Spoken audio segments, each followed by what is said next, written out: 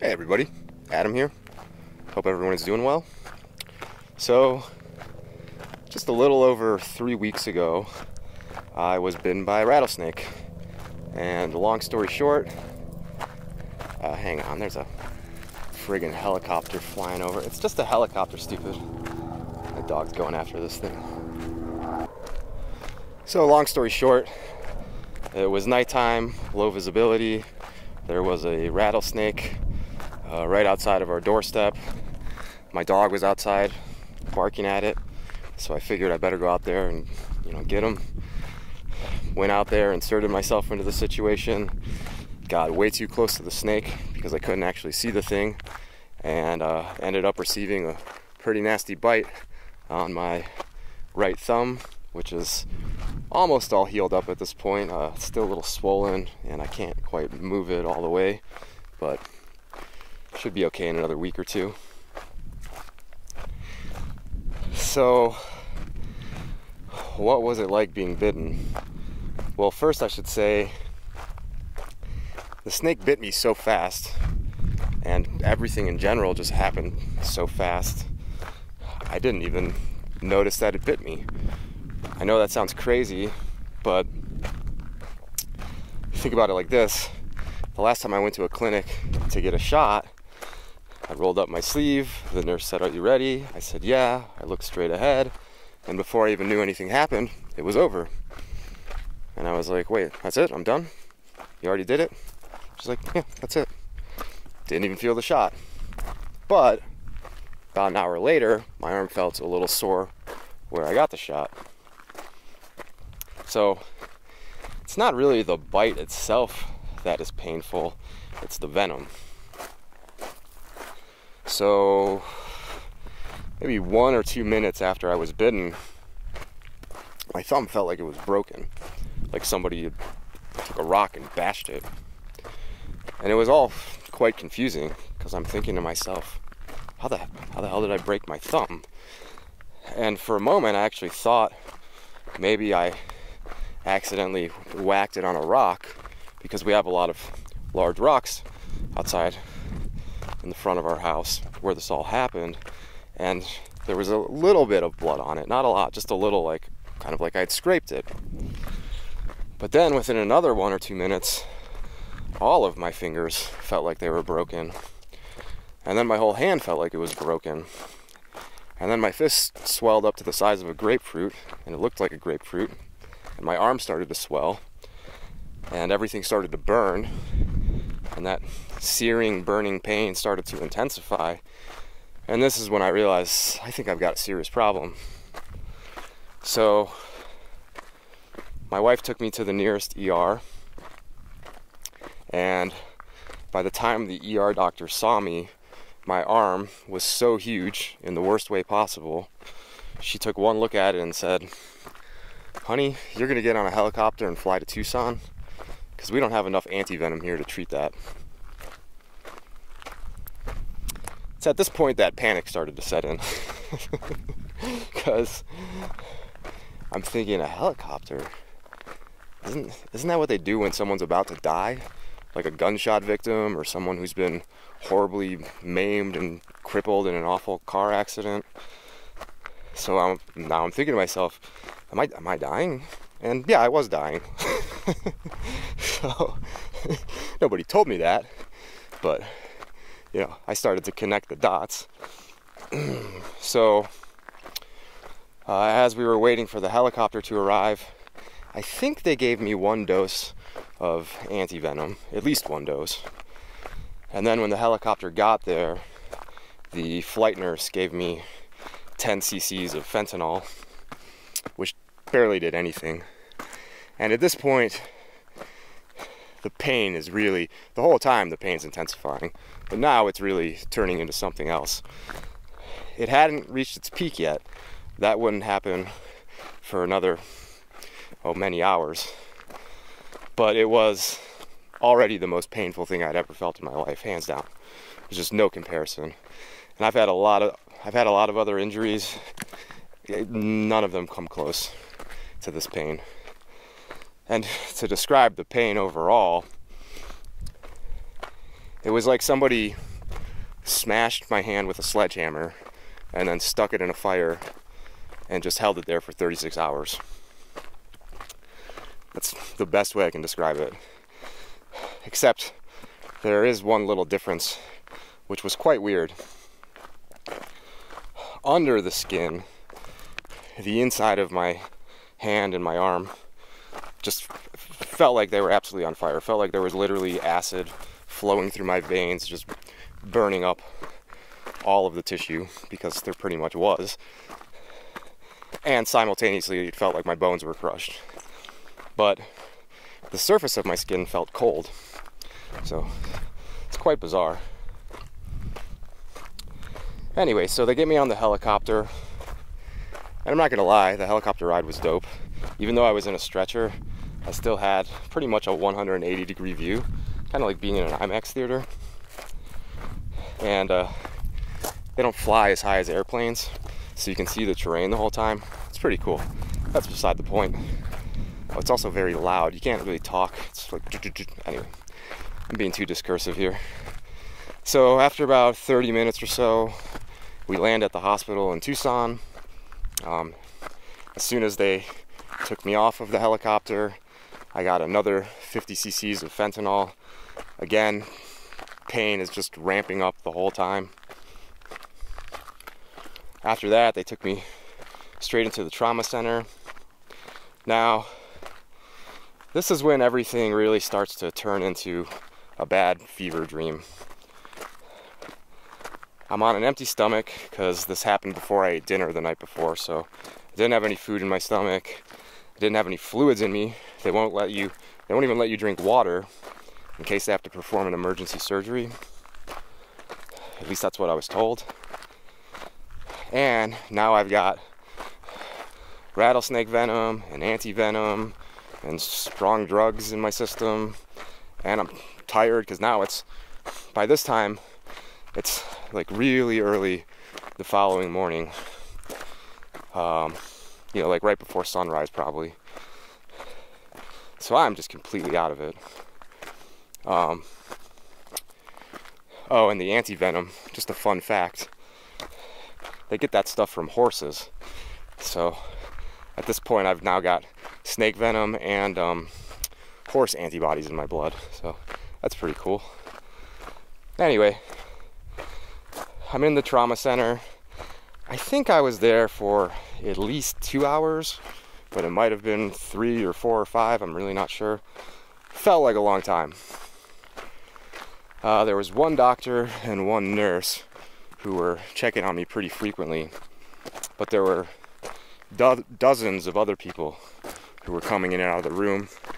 Various other doctors and specialists running tests, asking me questions. I was x rayed, sonogram. Um, at one point, a team, a whole team of to- toxicologists came in, at least like six or seven of them, and they were asking me tons of questions and they wanted to check out the wound and look at my arm, check out my back. Because the venom, it just starts working its way linear, linear, ah, I can't say that word, in a straight line. it starts working its way. See, it must have done something to my speech too. It starts working its way from where you were bitten, just all the way up the limb into your torso. So, got somewhere up to around my shoulder and a little bit down the side of my back. So, it's at this point, right after the uh, tox team talked to me and took a look at me, that my pain is now hitting the peak. And uh, my wife even told me that when she got to the hospital and she was walking down the hallway, she could hear me screaming and groaning. And I was. um, and yeah, the pain meds weren't doing anything. It's also at this point that the ER doctor took another look at my thumb where I was bitten. And bear in mind, the whole time, so at this point, it's blistered over and it's just swelling up. It looks like I've got a purple water balloon on my thumb. And she looks at it and she goes, Man, that is the worst snake bite I've ever seen. And I was like, thanks. I feel reassured. That's great. Then she cut me out of my shirt so she could put a gown on me and do the other things that she needed to do. Uh, did another sonogram. And the reason they were doing sonograms was actually so they could take my pulse because I was so swollen. That's the only way they could read my pulse. Um, so yeah, I got me in a gown, another sonogram, and then they sent me off to the intensive care unit where I spent the next three days. And I actually took some videos while I was there, so I'll show you what it was like. Uh, these, I started taking the videos after being there for about a day and a half. So at this point, I was able to get up and move around a little bit again. Uh, prior to that, I was pretty much just flat on my back the whole time. But yeah, I'll show you what it was like. And don't worry, it's not graphic. You're not going to see anything gross. It's really kind of boring. But anyway, here's what that was like. So here is my ICU room. Been in here for two days. Uh, finally let me get out of bed a little while ago so I can kind of stand up and move around a bit.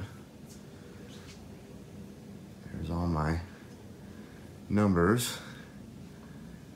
Well, you can't see my blood pressure because I'm not hooked up to that anymore, but yeah, they uh, had me on IV for a while. I, I, still have the, I have two IVs in my arms. I'm just not hooked up to the drip at the moment, but uh, got 20 doses of anti-venom and about to get another half dose. I also got magnesium and probably some other stuff I can't remember or wasn't even aware of. yeah, this is it. Uh, hopefully I'll be getting out of here uh, sometime later today to get moved to a regular room. And uh, then I'll have a lot more mobility and independence. I won't be as confined to a bed like I am in here most of the time. Uh, current state of my hand where I was bit. So my blister popped last night while I was sleeping. So now we've just been periodically wrapping it with gauze and then changing the gauze once it gets all saturated with blood and fluid. Um, arm's still pretty black and blue, black and blue, and swollen. Uh, you know, we got some mobility, but definitely not like total use of my hand again. yeah, that's the current state of things, and uh, maybe I'll uh, show you my next room when I get over there. Okay, so now I am getting my 20th and a half dose of anti-venom. And this is gonna take about another 30 minutes. And uh, when I'm done with that then they're gonna draw some more blood check my lab work and then hopefully I'll be going to a regular room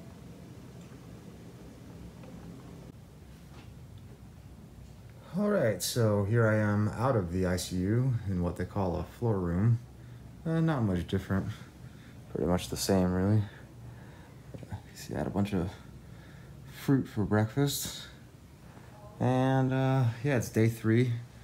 They're probably gonna send me home today. Here's a look at my hand. You see it's still quite swollen and bruised. That's just gonna take time, probably could be up to like another three weeks before all that swelling subsides. But that's where I'm at now. Yeah.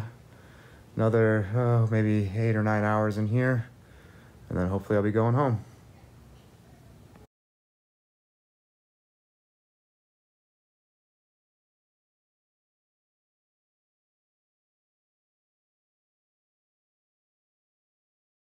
So first two days that I was in the hospital, various doctors and nurses all told me, we'll probably let you out in like three days, maybe five max.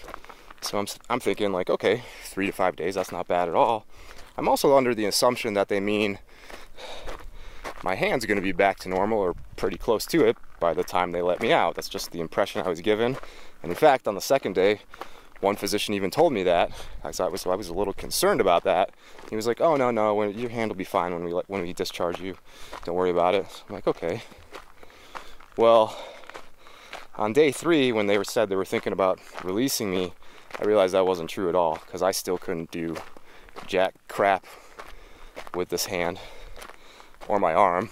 I was pretty much just like locked in this position the whole time. Effectively, my arm and hand were paralyzed. They weren't literally paralyzed in the classical sense because most rattlesnakes, all except for one, they have cytotoxic venom. And this is how we know it was a diamondback and not a Mojave.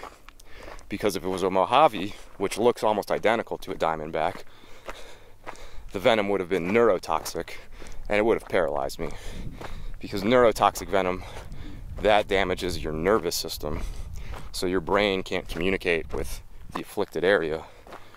But cytotoxic venom, which contains myotoxins and hemotoxins, that damages your tissues and your blood.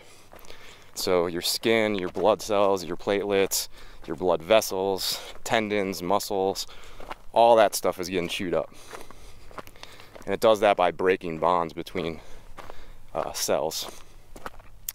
So it really is just pretty much, oh, I don't know, dissolving slash tearing up your muscles.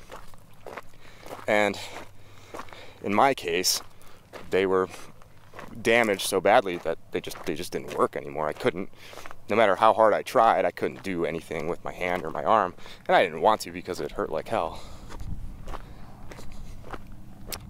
So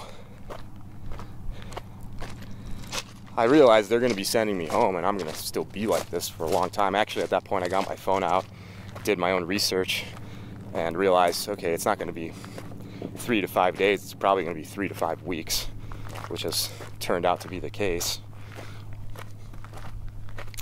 So, yet again, I'm starting to panic. A, I'm wondering, am I ever going to get my hand back? Like, what if, like, what if the damage is permanent and I just can't use this hand or even my right arm at all anymore? I'm also starting to freak out because, as you can maybe tell from just looking at the scenery around me, where I live, it's not exactly um, kind to people with disabilities, nor is my lifestyle conducive to someone that only has one functioning arm. So I'm thinking, how the hell am I going to go back to my normal life? Like, I can't go home like this.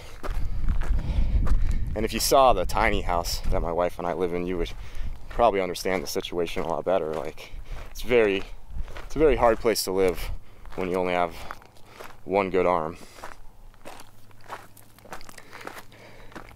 So I further started to realize sorry, there's just a truck driving by.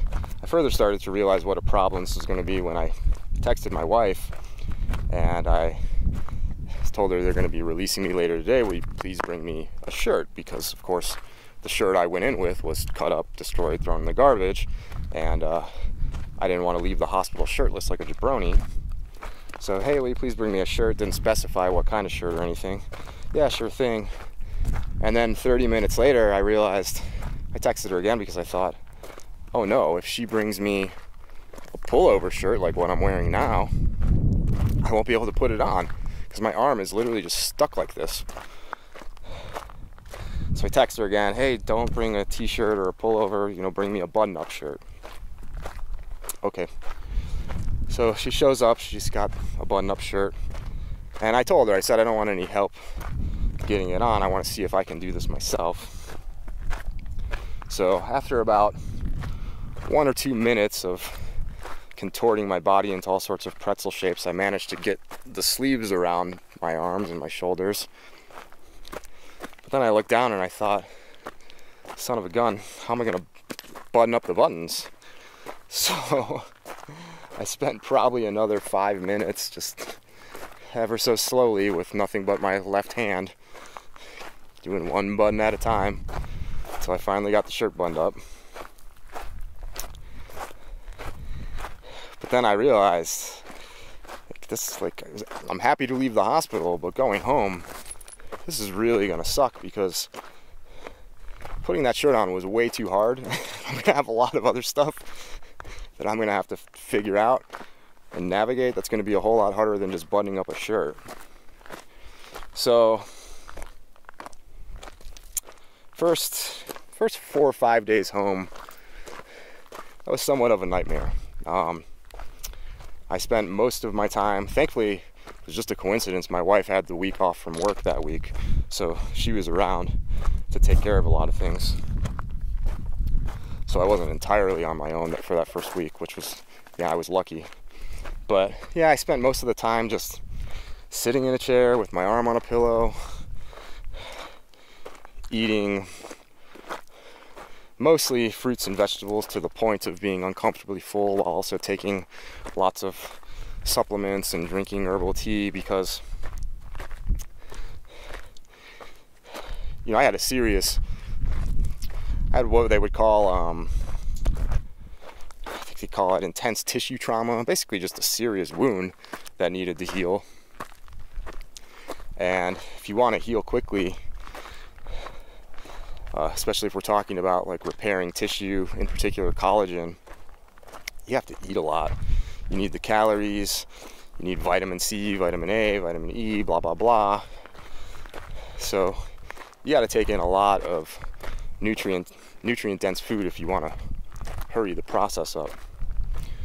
And I'm not really a big eater, so I honestly didn't enjoy it very much, but I do think it helped. After after that first week home, then very gently, gradually, cautiously, I started to get back to more of a semi typical day to day routine. Uh, despite what it might look like, I'm still not completely back to my normal self and my normal routine because I'm a builder but I can't build anything right now because I can't use tools with this hand. Uh, certainly not power tools. It's the, the vibrations of the tools, the force of like driving a screw into a board or pushing a saw through a cut. It's just it's too much. My hand is still too damaged and weak. So last time I attempted to do that, I realized I was just hurting myself. So it's probably going to be another week or two, I'm guessing, before I can get back to building. Also, for those of you that follow my channel and have been following the build series, this is the primary reason you haven't seen anything from me, from me in a while. Uh, I was actually going to record a video right when this whole thing happened. Uh, happened on a Tuesday night, and I was planning on recording a video later that week. So yeah, it's probably going to be, realistically, it might be another two or three weeks before I have a new building video up. But anyway, so moral of the story is venomous snakes, stay away from them. If you see a rattlesnake or you hear one, move the opposite direction. If you have to get your dog away from one, don't. Your dog's an idiot. Just let them die. It's not worth losing your limb or losing your life. I'm kidding about that last part. Don't let your dog die. Also, by the way, since I know everybody's wondering, my dog is fine. More people have asked me how my dog is doing than I'm doing, which is fair enough because he is much cuter and more likable than me, so that tracks. But yeah, anyway, that's my tail. Get it? Because like snake tail. Oh, why did I say that? Okay, I'm gonna wrap it up here, and I will see everyone in the next video. Peace.